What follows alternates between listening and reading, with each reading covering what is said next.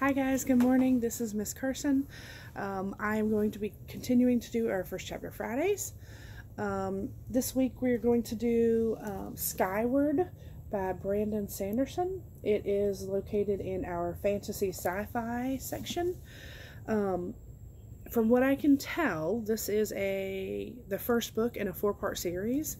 Um, only the first and second books are out currently. The third and fourth will be published later. Um, and this book does not seem to have a summary, so I found one online that I'm going to read, and then I will start reading the first chapter. Um, the only thing the back of the cover does say is Defiance is survival. So, um, to be able to find a little blurb about the book itself, I looked up on uh, Goodreads.com, and it says Defeated, crushed, and driven almost to extinction, the remnants of the human race are trapped on a planet that is consistently attacked by mysterious alien firefighters. Spensa, a teenage girl living among them, longs to be a pilot. When she discovers the wreckage of an ancient ship, she realizes this dream might be possible. Assuming she can repair the ship, navigate flight school, and, perhaps most importantly, persuade the strange machine to help her, because this ship, uniquely, has its own soul. So, I am going to start reading chapter 1. Uh, and it looks like it's written in um, different parts. So this is part 1, chapter 1. I stalked my inner enemy carefully through the cavern. I'd taken off my boots so they wouldn't squeak. I'd removed my socks so I wouldn't slip. The rock under my feet was comfortably cool as I took another silent step forward. This deep, the only light came from the faint glow of the worms on the ceiling, feeding off the moisture seeping through cracks. You had to sit for minutes in the darkness for your eyes to adjust to that faint light. Another quiver in the shadows.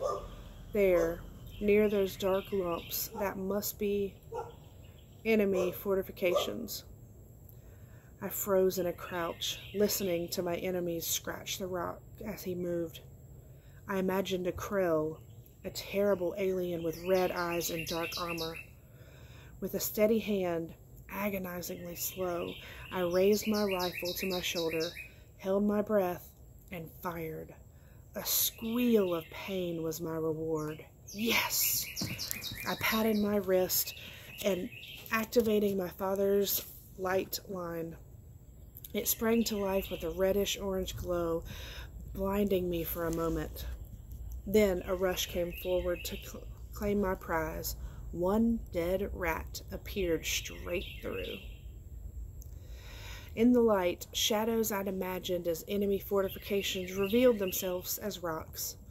My enemy was a plump rat, and my rifle was a makeshift spear gun. Nine and a half years had passed since that fateful day when I climbed to the surface with my father, but my imagination was as strong as ever. I'd helped relieve the monotony, to pretend I was doing something more exciting than hunting rats. I held up the dead rodent by its tail. Thus you know the fury of my anger, fell beast. It turned out that strange little girls grow up to be strange young women, but I figured it was good practice, good to practice my taunts for when I really fought the krell. Gran Gran taught that a great warrior knew how to make a great boast to drive fear and uncertainty into the hearts of their enemies. I tucked my prize away in my sack. That was eight so far. Not a bad haul. Did I have time to find another? I glanced at my light line. The bracelet that housed it had a little clock next to the power indicator. 0900.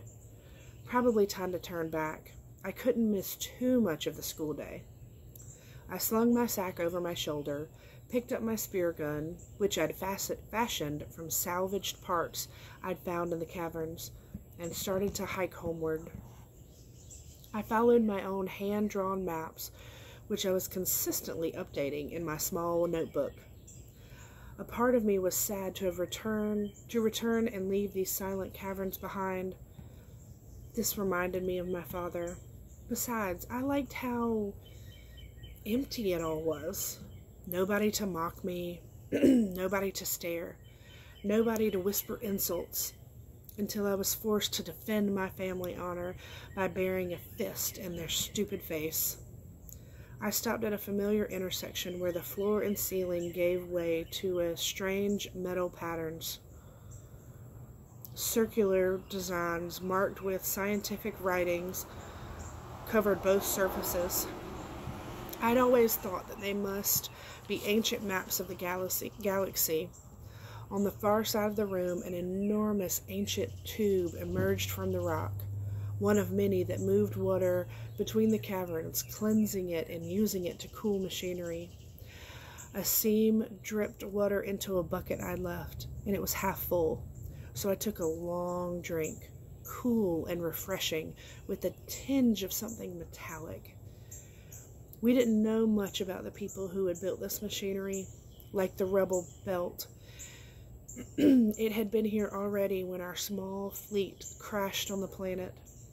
They'd been humans, as the writings on the places like this room's ceiling and floor were in human languages. But how distantly related they were to us was a mystery even now. None of them were still around, and the melted patches and ancient wrecks on the surface indicated that they had suffered their own war. I poured the rest of the water into my canteen, which gave the large tube a fond pat before replacing the bucket and moving on. The machinery seemed to respond to me with a distant, familiar thrumming. I followed that sound and eventually approached a glowing break in the stone on my left. I stepped up to the hole and looked out on Igneous, my home cavern, the largest of the underground cities that made up the Defiant League. My perch was high, providing me with a stunning view of a large cave filled with boxy apartments built like cubes splitting off one another. My father's dream had come true. In defeating the Krell that day, over nine years ago, those fledgling starfighter pilots had inspired a nation. Dozens of once nomadic clans had congregated, colonizing Igneous and the caverns around it. Each clan had its own name still, traced back to the ship or section of the ship they had worked on. My clan was the Motorskap, from the old words of engine crew. Together, we called ourselves Defiance a name taken from our own flagship. Of course, in gathering together, we had drawn the attention of the Krell, the aliens still determined to destroy humankind. So the war continued, and we needed a constant stream of starfighters and pilots to protect our burgeoning nation. Towering over the buildings of Igneous was the apparatus, ancient forges, refineries, and manufacturings that pumped molten rock from below that created the parts to build starfighters. The apparatus was both amazing and unique. Though machinery in other caverns provided heat, electricity, electricity or filtered water, only the apparatus was Igneous, of Igneous was capable of the complex manufacturing. Heat poured through the cracks, making my forehead bead with sweat. Igneous was a sweltering place, with all those refineries, factories, and algae vats. And though it was well lit, it sometimes felt, always felt gloomy inside. With that red orange light from the refineries shining on everything, I left the crack and walked to an old maintenance locker I discovered in the wall here. Its hatch looked first glance like any other section of the stone tunnel, and so relatively secure. I popped it open, revealing my few secret possessions some parts of my spear gun, some spare canteen, and my father's old pilot's pen. I rubbed that for good luck and then placed my light line, map book, and spear gun into the locker. I retrieved a crude stone tipped spear, clicked the hatch close, and then slung my sack over my shoulder. Eight rats could be surprisingly awkward to carry, particularly when, even at 17, your body refused to grow beyond a hundred and beyond 151 centimeters. I hiked down to the normal entrance into the cavern. Two soldiers from the gr- ground troops, which barely ever did any real fighting, guarded the way in. Though I knew them both by their first name, they still made me stand to the side as they pretended to call for authorization for me to enter. Really, they just liked to have me waiting. Every day, every scuttling day. Eventually, Aluko stepped over and began looking through my sack with a sp- suspicious eye. What kind of contraband do you expect I'm bringing into the city? I asked him. Pebbles? Moss? Maybe some rocks that insulted your mother? He eyed my spear as if wondering how I'd managed to catch eight rats with a simple weapon. Well, let him wonder. Finally, he tossed the sack back to me. On your way, coward. Strength. I lifted my chin. Some day, I said, you will hear my name, and tears of gratitude will spring to your eyes as you think of how, luck- how lucky you are to once assisted the daughter of Chaser. I'd rather I'd rather forget I ever knew you on your way. I held my head high and walked into Igneous, then made my way towards the glorious rise of industry, the name of my neighborhood. I'd arrived at shift change and passed workers in jumpsuits of a variety of color, each marking their place in the great machine that kept the Defiant League and the war against the Krell functioning. Sanitation workers, maintenance techs, algae vat specialists, no pilots, of course. Off duty pilots stayed in the deep caverns on reserve, while the on duty ones lived in Alta, the very base my father died protecting. It was no longer secret, but had grown into a large installation of the surface, housing dozens of ships along with the pilot command structure and training facilities. That was where I would live starting tomorrow, once I passed the test and became a cadet. I walked under a large metal statue of the first citizens, a group of people holding symbolic weapons and reaching towards the sky in a defiant pose. Ships raising behind them, trailing streaks of metal. Though it depicted those who had fought at the Battle of Alta, my father wasn't among them. The next turn took me to our apartment, one of many metal cubes sprouting from a large central one. Ours was small, but big enough for three people, particularly since I spent days at a time out in caverns, hunting and exploring. My mother wasn't home, but I found Gran Gran on the roof, rolling algae wraps to sell at our cart. An official job was forbidden to my mother because of what my father had supposedly done, so we had to get by doing something unconventional. Gran Gran looked up, hearing me. Her name was Becca Nightshade. I shared her last name. But even those who barely knew her called her Gran Gran. She had lost nearly all her sight a few years ago, her eyes having gone a milky white. She was hunched over and worked with stick like arms, but she was still the strongest person I know. Ooh, she said, that sounds like Spensa. How did you get today? Eight. I dumped my spoils before her, and several are particularly juicy. Sit, sit, Gran Gran said, pushing aside the mat filled with wraps. Let's get cleaning these and cooking. If we hurry, we can have them ready for your mother to sell today, and I can get to tanning the hides.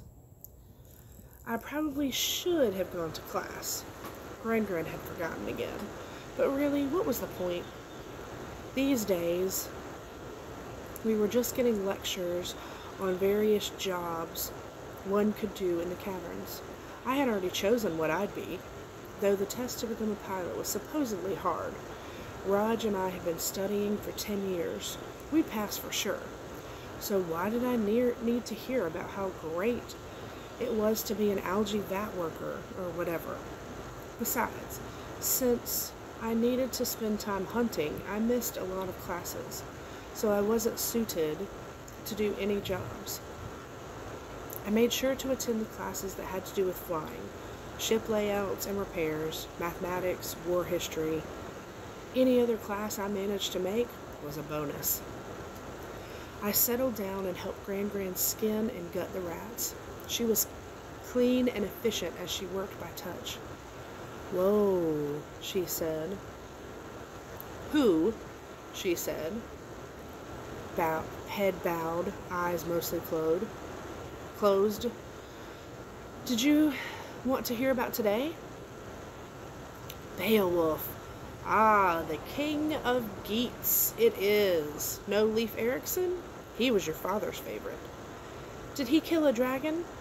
He discovered a new world with dragons. Gran chuckled. A feathered serpent by some legends, but I have no story of them fighting. Now Beowulf. He was a mighty man. He was your ancestor, you know. It wasn't until he was old that he slew the dragons. First, he made a name fighting monsters. I worked silently with my knife, skinning and gutting the rats, then slicing the meat and tossing it into a pot to be stewed. Most people in the city lived on algae paste. Real meat from cattle or pigs raised in caverns with special lighting and environmental equipment was far too rare for everyday eating, so they'd trade for rats. I love the way Grand Grand told stories. Her voice grew soft when the monster hissed and bold when the hero boasted. She worked with nimble fingers as she spun the tale of the ancient Viking hero who came to the aid of Danes in their time of need, a warrior everyone loved, one who bravely fought against a larger and mightier foe. And when the monster had slunk away to die, Gran Gran said, the hero he held aloft Grendel's entire arm and shoulder as a grisly trophy. He avenged the blood of the fallen, proving himself with strength and valor. Clicking sounded from below in our apartment. My mother was back. I ignored that for now. He ripped the arm free, I said. With his hands? He was strong, Gran said. He was a warrior, but he was of the olden folk who fought with hands and sword, she leaned forward. You know, fighting with nimbleness of both hands and wit.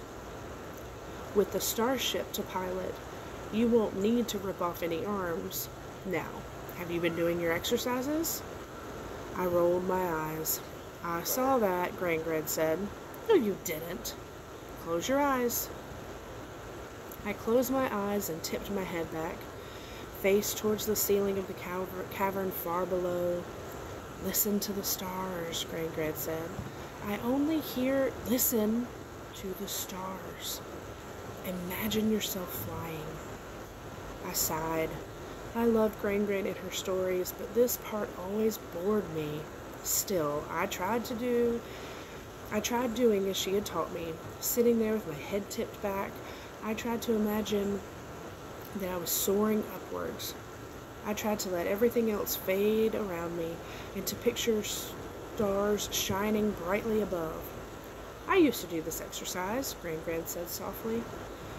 With my mother on the Defiant in the engine rooms, we worked the flagship itself, a battle cruiser large enough, larger than this entire cavern.